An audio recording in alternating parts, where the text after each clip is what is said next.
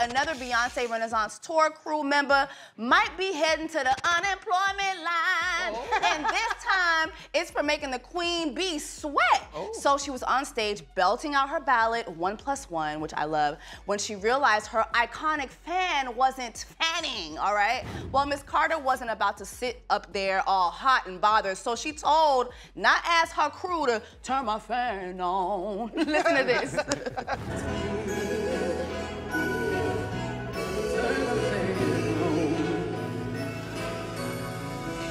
I know the feeling though. I know the feeling all yeah. too well. It's so frustrating because you can't stop the show. You can't be like, excuse me, can right. anybody hear me? Is anybody paying attention?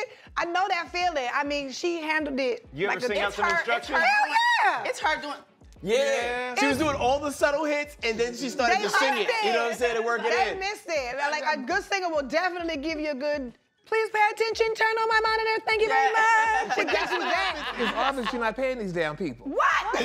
if you're paying your people, you know to do your job. No. You see how you sitting here on this set? It looked like a tech you. issue to me. no, no. It's so funny because it reminds me of Michael Jackson. Her and Michael have the same like personalities on stage. Somebody get in Empire. Your job is gone. Like, all that, like, no, but, but, like, but, when Mike did it, it sounded like a part of the song. It, was so, job gone. What are we gonna do?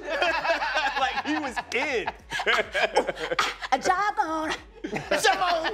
Hey, don't forget to hit us up on social media. We're on all these platforms at Dish Nation. We'll see you there.